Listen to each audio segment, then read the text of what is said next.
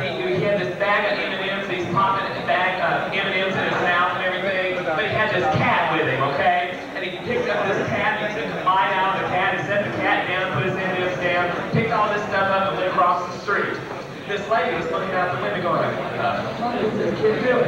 Picks up the cat again, takes a bite out of it, eats another M&M, and picks all this stuff up and goes across the street again. She goes up and says, Johnny, what are you doing? You're driving me crazy. He says, I'm playing truck driver. You're playing truck driver? That's right, honey. I'm popping pills, eating pussy, and moving on. Looks like they're ready here. Are you ready, ladies and gentlemen? Looks like the judges are almost ready. I don't know why I remember that. I think my mother told me that. She's a strange woman.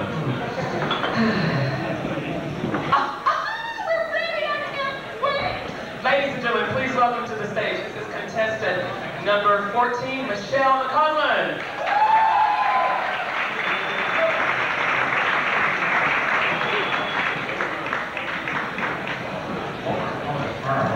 A young girl named Michelle who lived in the backfield of Mount Vernon.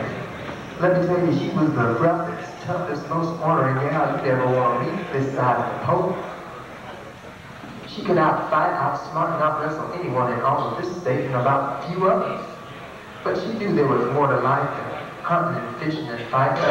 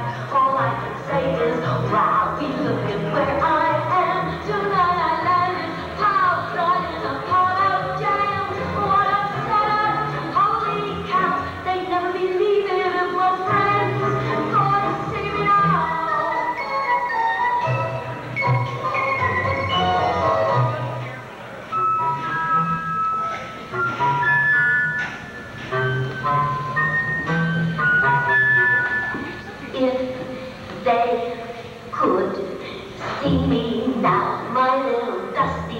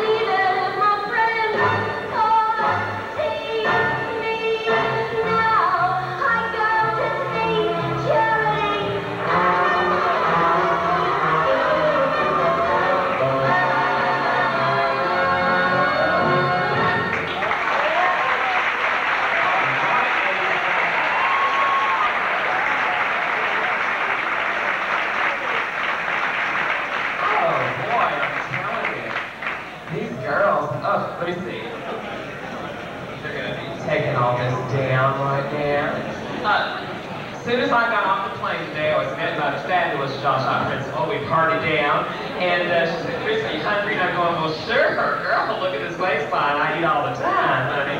But, uh, yeah, I could have a bite to eat. Well, they drove us. They picked up at this limo at the airport, and I was going like, the last time I saw a limo, they had like a, one of those big machine guns pointed at my ass. I was kind of scared.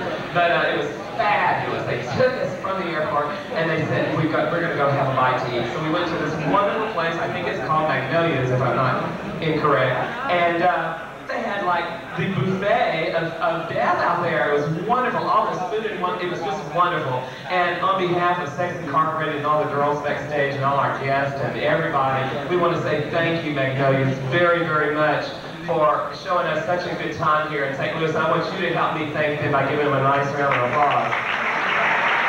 Not only was it just wonderful tonight, on behalf of have contributed $100 to the newly crowned Miss Gay Missouri and helping her in her efforts at Miss Gay America. I think that's fabulous.